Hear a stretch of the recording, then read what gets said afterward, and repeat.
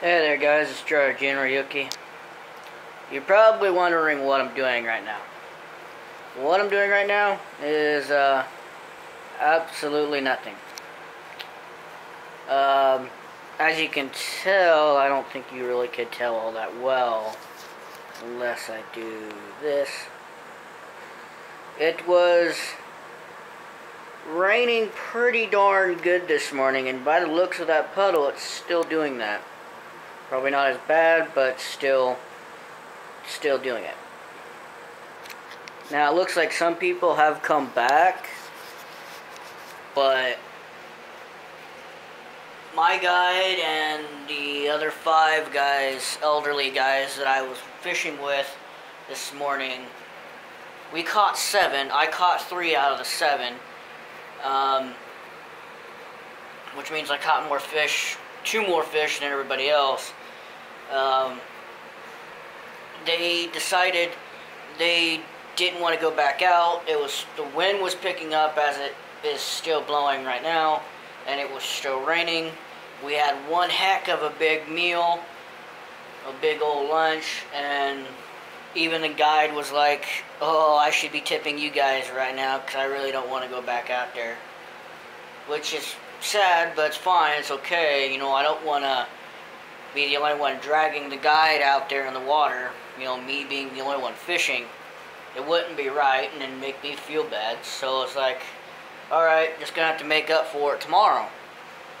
So tomorrow we're just gonna bring a sack lunch, obviously bring drinks or whatever, which is mainly what my cooler is filled up with anyway. And we're gonna be heading out tomorrow morning up north to uh, fish, and I don't think we're going to be going.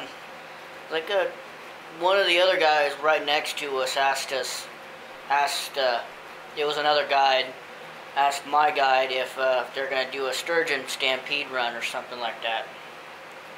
He's like, he had no interest whatsoever. He's like, no, not happening. No, we're going up north. No, not happening. So, you know, I might, if I do, I might you know, there's, I think they, they said there's some perch in here. So I don't know. All I've caught was uh, walleye and, and uh, sauger, so, which is still fine. I uh, just wish I can go back, be out there right now, but uh, I just, just gotta sit here and do whatever, work on my book, maybe have the opportunity to film a game or two, maybe, or not, I don't know plywood. This is probably like the longest vlog I've done in a while since I've been here. Um, it's really, it's really nice out here. It really is. It, uh, it just, I was, was like, it's just, sometimes the weather could be a, a, real downer and then have everybody else be like, it's fun and all, but, uh, I don't feel like getting completely soaked again. And I was. I was completely soaked from the waist down. And, whoa, bumble. Both of my shoes got really soaked, so I got them sitting in front of the fan. My left shoe was, uh, was completely soaked. Um, and those guys were wondering, like, dude, you're completely soaked. How could you not be shivering? I don't understand how you could be able to do that. Well, as long as the wind doesn't blow in my face and it doesn't blow cold air, I'll be fine. But there was one guy that was actually worry, worrying uh, the guide a little bit, and he made him sitting in the front. He's not the most flexible one out of all of us on the boat, and he was shivering pretty bad. I mean, he, even the guide had to, while we were out there this morning, had to help him hook a, put his bait on a hook and, you know, help him out a little bit. But, uh, I'm having I'm having a blast here, guys. I wish I could take you take you guys out and film on the boat, but without you know these little short minute uh, minute to two minute little little uh, stupid videos, these little clips. It's just you know if I if I was to take you out there, I'd most likely lose a camera, so I don't want to do that. But here I'm just chilling in the cabin by myself, trying to keep myself preoccupied so I don't get too bored. Uh, there's going to be supper in the next three hours. Hopefully, those. Hopefully, someone comes back with something. Um, tomorrow's the last day of fishing. And then after that, gotta get up really early.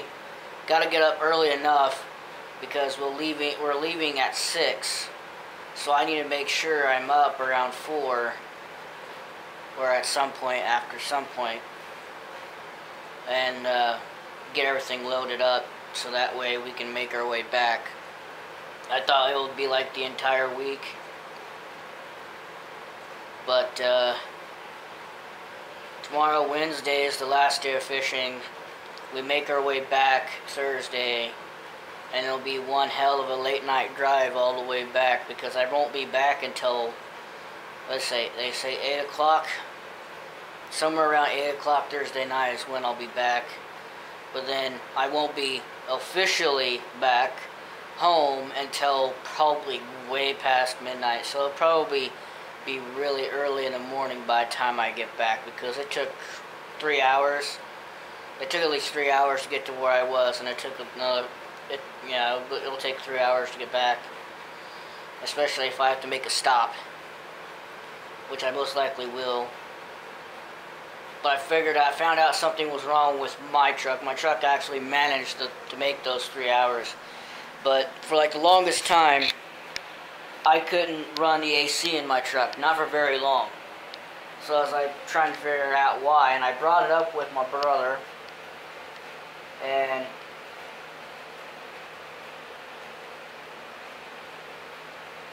yeah, I just got a text from my dad. He's like, I told him all the stuff that was that was happening the decision that was made, and I was like, I paid to. I, I was like, guys, I paid to come fish.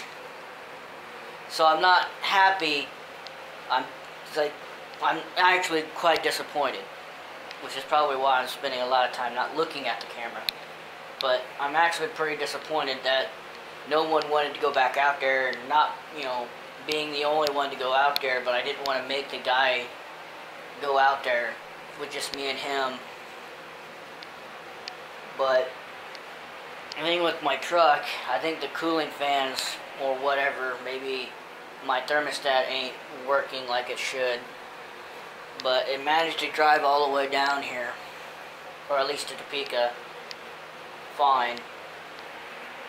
But it's like I didn't run the A, the AC or the air all on the entire time, and it still got it still got pretty hot, especially after it kicked into overdrive that one time. Oh, going up a steep hill, it kicked into overdrive and it really shot up. So I'm thinking, I mean, I checked the belt on my truck. My belt's fine. But I'm thinking it's the other stuff that is going on. Like the cooling fans aren't working. So, I'm going to have my brother work on my truck. I'd work on it myself, but my brother went to school to be a mechanic, so I'm going to make him work on it. But anyway, guys, I just felt like talking to you and uh, telling you what's going on, especially for today. Um, yeah, it's hopefully tomorrow ends up being a good day and we end up catching a lot of fish. Even though I'm only allowed to take a certain amount home. That's frustrating. But, oh well. I guess that's their limit. It's kind of it's kind of hurtful in a way. You have all these people come down here, you make them pay $900 to fish, but you're only allowing them to take home four walleye, two sauger, and two of whatever species they catch. That's not a whole lot. That's not a whole lot at all. So that's that's the only downside is like they make you spend all this money for the bus trip and the, the whole thing down here. The thing is the meals are free. The meals are paid for, you don't have to pay for anything unless you're going to the bar to buy your own drink. But that's the only thing you really have to pay for before besides the souvenirs. Other than that, you don't have to pay for anything. All you have to do is tip. You just bring some money, like eh, $120 or whatever to tip to either the guide or the waitresses or whatever. Only like only tip the waitresses if they do a good job. If they're bouncing from table to table and they're not doing like coming back like that first night I was here, first night, first meal, uh, I was sitting with a couple who was sitting there like an hour or so before I was, and they were still sitting there. Eventually, they got tired of it and decided to go get some food. Well, I was like, okay, I just got here, and they're leaving food out in the open, so maybe, and I'm seeing the guys just walk in, take some food, sit down. Next thing you know, you got a, the waitresses right there, seeing them eat, and you know, and uh, you know, it's like this elderly couple that I was sitting with, the his, this guy's wife got really upset, and she uh, got the manager and was like, "Oh no," her husband's like, "Oh no, why couldn't you just let me handle it?" And uh, I wasn't gonna leave him with anything because they, the white waitress that we had, you know, spent a lot of time like bouncing from table to table. She didn't, you know, check on us she uh, told me she was going to give me a refill of my drink. About 30 to 45 minutes later, that's when I received my drink. And I was like, even though the food's good, the service was terrible. I mean, with her anyway. I'm I'm not going to be a total jerk and not leave her with anything. So I left a dollar, and I actually persuaded the other two enough that. Uh, the uh, couple actually left him a couple dollars as well. So even though it wasn't a very good job, uh, she at least got three dollars. But today, or was it yesterday? It was yes. It was last night. Um, I uh, went at and had some fish. That was the that was for the bus's supper, and um, it was fish, some kind of black rice or something or whatever it was, and might have, I think it had some mushrooms in it or something, or whatever it was. It wasn't bad, but it wasn't good either. It had uh,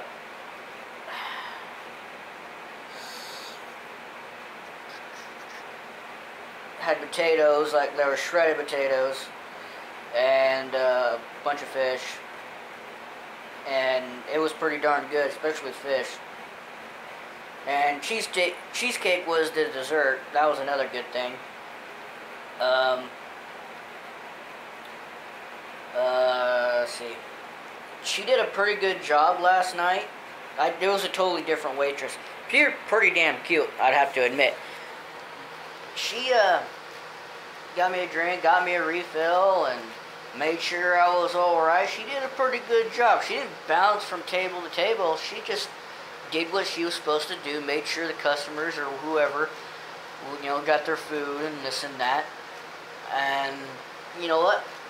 I thought she deserved a $5 tip, so I gave her $5. And she was actually going to leave it on the table like she didn't see it. And I was like, no. She turned to walk. I was like, no, you're not. You're, come here and I handed her five dollars. So she got a five dollar tip last night, and I wonder what tonight's food will be. It might be another cook-off or whatever, like we had for lunch, because we had fish again for lunch. I think it was what they called a shore lunch, where we just catch whatever, whatever fish we catch, we end up eating that very same day. So I guess whatever fish we caught today was ended up being lunch. So anyway, I might as well end this vlog now. Um, I'm Charjr Ryuki, and I will see you guys next time. And don't forget to bring the nachos. Peace.